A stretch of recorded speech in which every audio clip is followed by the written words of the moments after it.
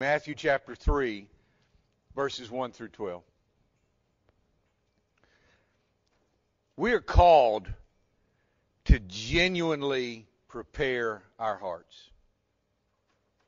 You know, one of the things that, that we do in a school system is we practice and prepare for the worst. We have fire drills. We have intruder drills. We have all kinds of drills multiple times throughout each semester. Why do we do that? So that the children are prepared. And not just the children, so that the teachers and the staff are prepared. They're genuinely prepared. Because when that fire alarm goes off, or when you get the notice on your phone that the building is under lockdown and you weren't expecting it, guess what happens? You stop thinking. Okay? You stop thinking rationally. And you're only going to do what you have prepared yourself to do. John the Baptist is telling us that the Messiah is here now and we must genuinely prepare our hearts for his coming. Matthew chapter 3, verses 1 through 12, and in honor of the reading of God's word, let's stand. Now, in those days, John the Baptist came preaching in the wilderness of Judea, saying, Repent, for the kingdom of heaven is at hand. For this is the one referred to by Isaiah the prophet when he said, The voice of one crying in the wilderness, Make ready the way of the Lord, make his path straight. Now, John himself had a garment of camel's hair and a leather belt around his waist, and his food was locusts and wild honey. Then Jerusalem was going out to him, and all Judea and all the district around the Jordan. And they were being baptized by him in the Jordan River as they confessed their sins. But when he saw many of the Pharisees and Sadducees coming for baptism, he said to them, You brood of vipers, who warned you to flee from the wrath to come? Therefore bear fruit in keeping with repentance. And do not suppose that you can say to yourselves, We have Abraham for our father. For I say to you that from these stones God is able to raise up children to Abraham. The axe is already laid at the root of the trees. Therefore, every tree that does not bear good fruit is cut down and thrown into the fire. As for me, I baptize you with water for repentance. But he who is coming after me is mightier than I, and I am not fit to remove his sandals. He will baptize you with the Holy Spirit and fire. His winnowing fork is in his hand, and he will thoroughly clear his threshing floor, and he will gather his wheat into the barn, but he will burn up the chaff with unquenchable fire. Let's pray. Father God, we love you so much, and we thank you for the reading of your perfect and infallible word in our midst this morning. God, we just ask that as you illumine the heart and mind of Matthew, uh, when you gave to him this this this perfect and infallible word, that you would illumine our hearts and minds this morning, and that you would cause us to truly prepare the way of the Lord in our own hearts. God, we love you with all of our soul. We trust you with all of our heart. We offer to you our love, our lives, and this prayer in and through the name of our risen Lord and Master, our soon coming King, Jesus, who is the Christ. Amen. Thank you. You may be seated. Today is the second Sunday of Advent. It is a day when we focus on preparation. Let me ask you all a question. What's the difference between an event Angie plans and an event I plan. Preparation. Preparation. I start planning week, maybe two days before, you know. Angie, if there's an event coming up, like, oh, I don't know, in the middle of the summer, she's already preparing for it. Okay? She's already preparing for it. You know, we had these people uh, someone mentioned that we should put our college students on our prayer list because they had finals coming up and and and and they would be traveling. See, for me, yes, if I were in college, you need to pray for me because I hadn't been getting ready for finals until now. Okay, and it's tomorrow. So you know, I, pray for me. And, and honestly, there's really no point. God's not going to help me. You know, just because I didn't apply myself, He's not going to uh, just magically give me knowledge that I didn't avail myself to get.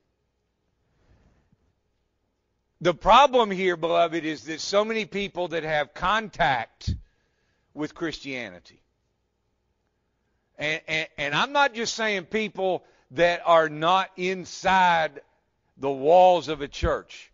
That is contact with Christianity. A lot of people that have contact with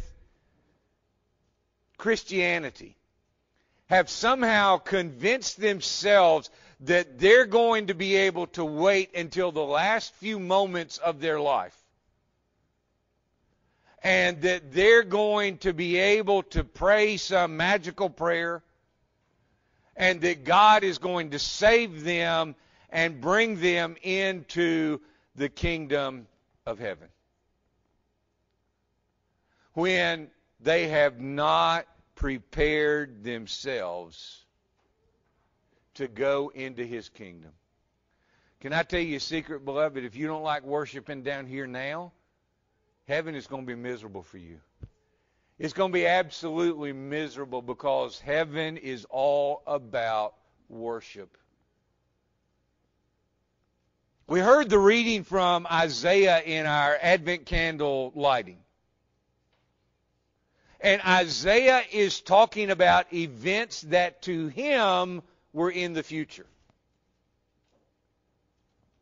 And Isaiah is calling his people to get themselves ready for the coming of the shoot from the uh, stump of Jesse. Matthew presents to us John the Baptist quoting this text from Isaiah. You know, I don't believe that either one of these men would be welcome in the average Christian church today. Both of them had a single minded focus on serving God. Those kind of people make us nervous. We have a word for people like that fanatics. Or we say that they found religion or that they've gotten carried away with this thing, that they're taking it too far. They're letting it impact every area of their life. John is single mindedly focused on proclaiming the coming of Messiah. Let me ask you a question. Y'all remember Luke 1, don't you? We're not going to put it up on the screen, but y'all remember Luke 1, don't you? Where this two old couple is given a son, and dad is struck mute. He can't talk because he wouldn't believe that God could do the same thing in his life that he did in Abraham's life. Hello? Hello? He had the Word of God. He was a priest. He knew the account of Abraham. He knew what God had done in Abraham's life. In fact, he is who he is, where he is, doing what he is, because God got involved supernaturally in, in Abraham and Sarah's lives. And Zechariah didn't believe it. Now, let me ask you a question. Why was John born? Hello? John was born to proclaim, repent, for the kingdom of God is at hand. John understood fully why he had been born. John understood that so thoroughly that as he sat in Herod's jail, knowing that the end of his life was rapidly approaching, he sent his disciples to Jesus and said, Jesus, I've got to make sure. I've got to know. I've got to know that I know that I know that you are him. And y'all remember what Jesus sent back. He said, John, you already know. You already know. You've got the scripture. Examine it for yourself. Is my life lining up with what scripture says the Messiah should be like? And John says, Well, I guess my head's going to a party and my body's going to remain right here. I'm okay with that. 10,000 years and then forevermore, John said. John was single mindedly focused on, on, on Jesus. Isaiah we might tolerate a little bit more because Isaiah speaks about things in the future. Things in the future don't tend to disrupt our lives now. Right? How many of y'all know that you're going to have to pay income tax and you've been saving up for it so that you don't have to pay it all at once and, and then eat soup, beans, and taters for the rest of the month because you just paid your whole, uh, your whole paycheck to pay your taxes. See, things in the future don't tend to impact our lives. John, on the other hand, says it's here. It's now. The time for repentance is now. Now, we're going to talk about what genuine repentance is in a couple of hours. I'm kidding. Just barely. This Sunday marks the time when we are called to reflect on whether we have indeed understood the true importance and significance of Christmas. And so I want us to spend a few moments examining John's ministry and understanding that he calls us to repent because the kingdom of heaven is near. And then he calls us to recognize that Christ the Messiah is coming. Verse 1. Matthew introduces us to John. If you want to know a little bit more about him, as I told you, you can look in Luke 1. But what I want to focus on is preaching in the wilderness of Judea. Now, you know, to us, wilderness is over in the national park, right? That we go deep into the national park or into the national forest, and we're now in the wilderness. But this area that that that Matthew is talking about in Judea is very much like the Tri Cities, Mohawk, Mount Simon, Midway. Okay very much like that, that there's these communities that are close by and they're separated by a little bit of distance. Do you understand what Matthew is telling us? These are country folk. These are country folk. These are, in Hebrew, the Am Haaretz, the people of the earth. These are people that God is first going to announce the gospel to. Now again, you know, the whole the whole gospel narrative is one that upsets the way that we think things ought to be done. Where did the wise men go first? To the king. To the king, because that's where they expected. They expected the king to know where the next king had been born. They expected that the new king would have something to do with the temple, that he would be there, that that's where God would naturally begin to work out of. Out of the religious power structure that was existent at that time. But instead,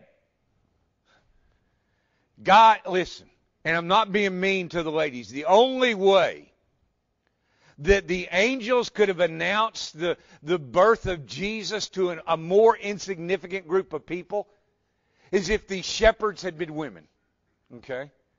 Because women just weren't accepted that much in that culture. Their testimony couldn't even be admitted into court. And God chose to announce the most significant event in all of human history to the most insignificant people in the countryside.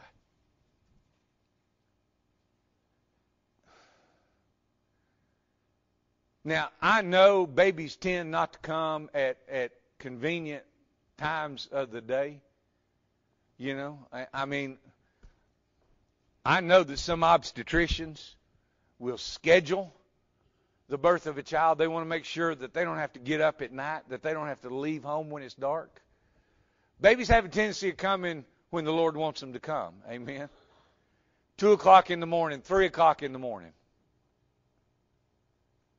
And God chose to break into the darkness of night and to announce that the light had come. Psalm 46:10 says, "Cease striving and know that I am God. I will be exalted among the nations. I will be exalted in the earth." You know what what what city folk what the biggest thing they don't understand about us is? the pace of our life. Okay? They're always frenetically about doing something, going here, going there, doing this, doing that. And they come to people like us, and we just don't get wound real tight about stuff. And God is saying, cease striving. Be still, is what He's saying. Can we do that this Christmas? I mean, I understand this is one of the busiest times of the year for almost everybody in this room. But can we make a covenant with God that we're going to intentionally carve out time to be still and know that He is God and exalt Him among the nations and in the earth? Do you understand what Matthew is telling us? He's telling us that the gospel didn't begin in a synagogue. It didn't begin in the temple. It didn't begin in the church. And he's teaching us that God has a place for every believer to serve. John's was in the wilderness. Christ was in the cities and the towns and the synagogues as well as the countryside. We should witness and proclaim wherever we are in the wilderness or in the city. Verses 2 through 4. First word of the gospel. Always. The first word of the gospel. Repent. Now, we tend to think that repentance is a feeling. Okay? Just the same way we think that love is a feeling. Bless your heart if you believe that love is a feeling and you're trying to use that feeling to hold together your relationship. I got bad news for you. It's not going to work. Okay? It can't work. Feelings change. All right? Commitments don't. A course of action does not change. Repentance is not just feeling sorry for our sin. Repentance is turning from our sin. It is an action word. It's not a passive word.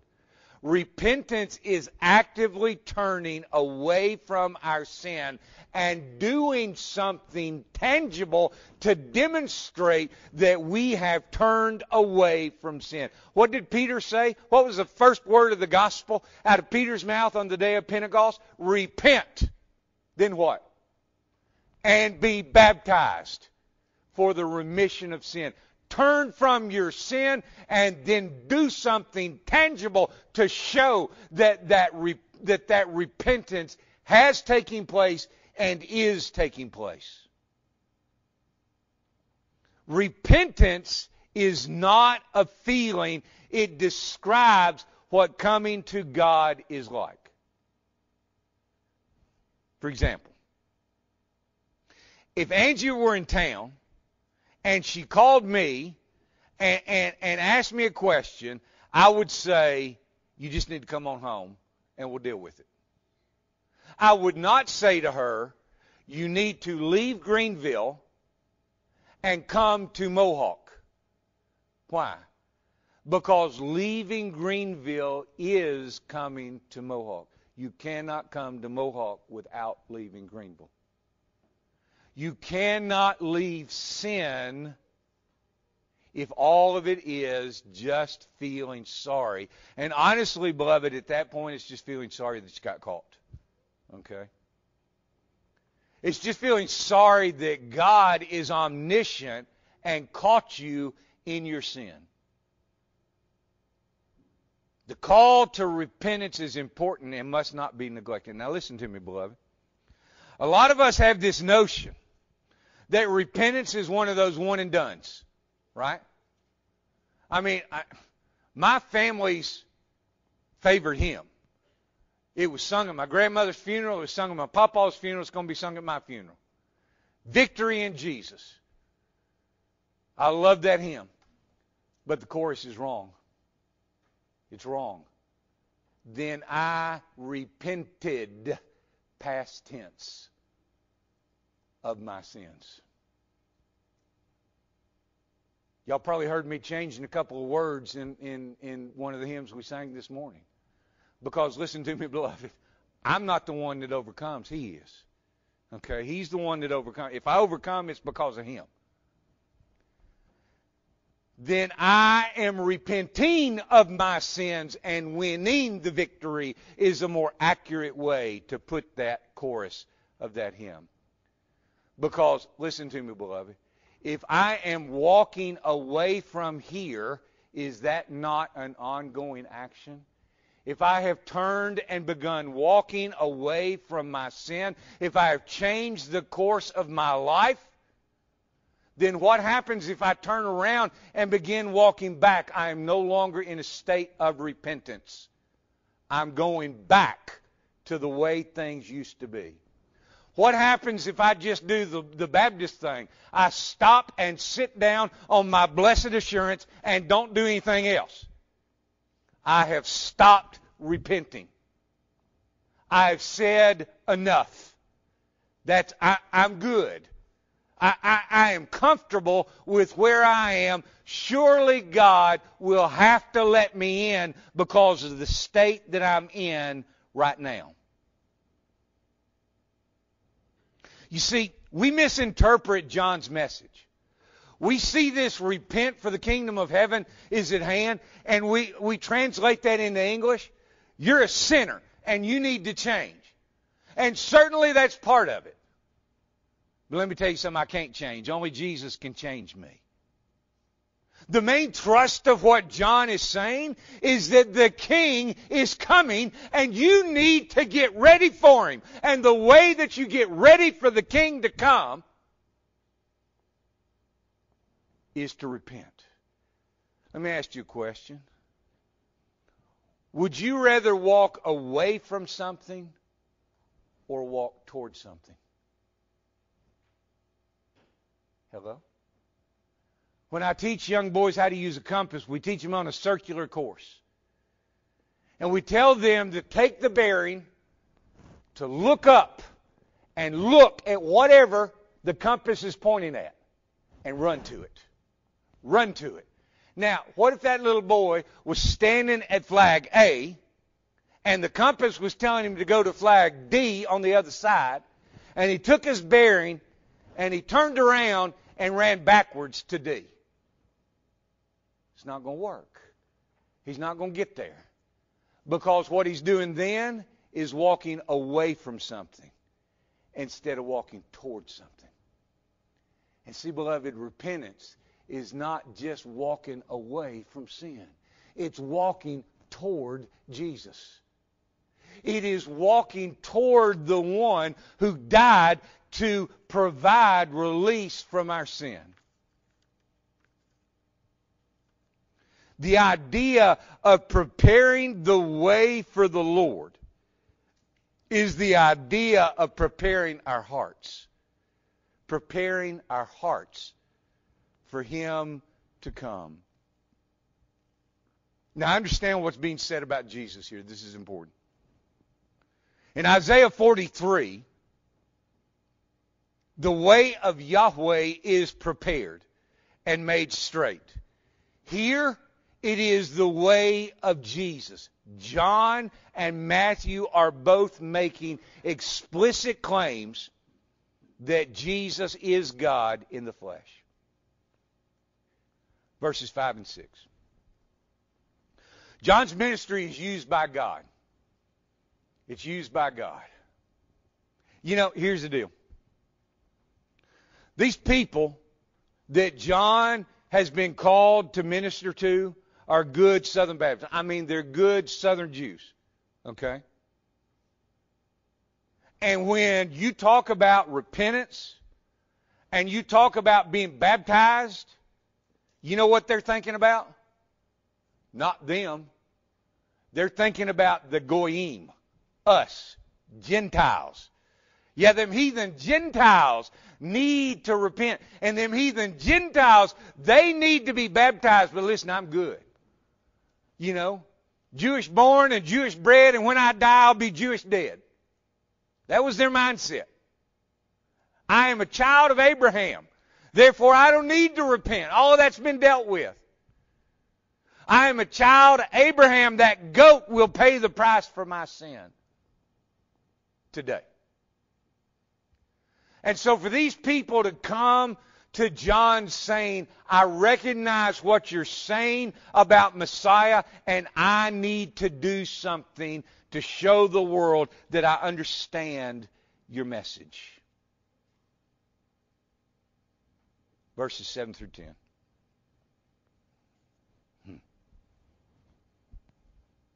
This is, by the way, beloved, this is not the way to win friends and influence people. Okay? Uh, generally, if, if, if in the middle of the sermon I look at somebody and call them a brood of vipers, they're probably not going to come forward during the invitation. Okay? I, I, I've just learned that over the years. And so these men come out. There's this big movement of God. I read an article this week that was talking about, you know, the, the hipster churches. Y'all know the ones I'm talking about. The pastor's there in skinny jeans. And, and he's got his shirt unbuttoned. He's not wearing a t-shirt, and you're going, ooh, that's nasty put a T-shirt on or or or, or, or button that thing up. I, I don't need to see that. Okay? And they try to do all the hip, cool things. And guess what happens? Instead of the world becoming like the church, the church becomes like the world. The church becomes like the world. And pretty soon the church doesn't have a message to proclaim anymore. And so these guys come out, they sense that there's a movement of the people. Not a movement of God, a movement of the people is what they thought. And they come out, and God is speaking to them through John. These are not John's words, these are God's words through John. You brood of vipers. Who warned you to flee from the wrath to come? Do you know why he said that? Listen, the Bible, the Old Testament, their Bible at the time told them to flee the wrath to come. They just didn't believe it. They didn't believe a word of it. And God is saying, how did, or through John, how did you wake up and understand what's happening? And so John says, I tell you what you do. If you're real about this, then you bear fruit in keeping with repentance. And do not suppose that you can say to yourselves that I have Abraham for my father. Because John is saying, you see that rock over there? God can make that a child of Abraham.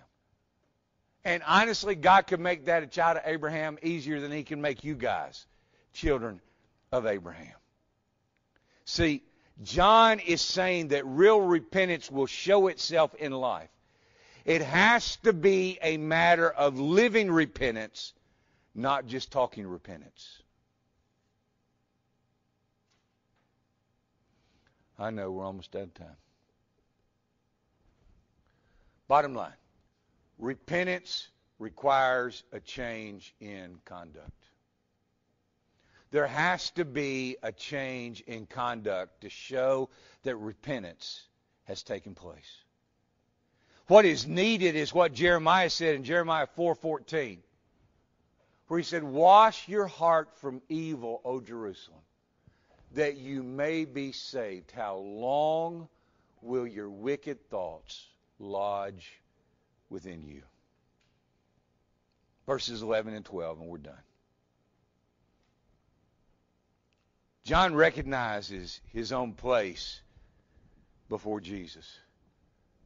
He says, I'm not fit to remove his sandals. Listen, if I'm the disciple, or I'm the, the rabbi and y'all are the disciples, there are a lot of things that you would do for your rabbi, but taking his sandals off is considered too lowly for even the lowest of the rabbi's disciples. John says, I'm lower than low.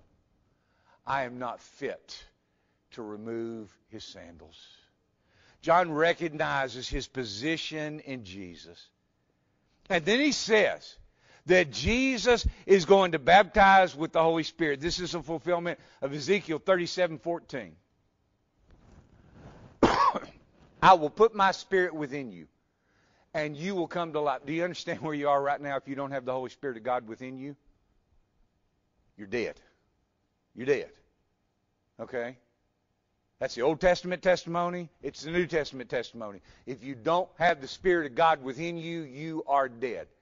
And God says, I will place you on your own land. Then you will know that I, the Lord, have spoken and done it, declares the Lord.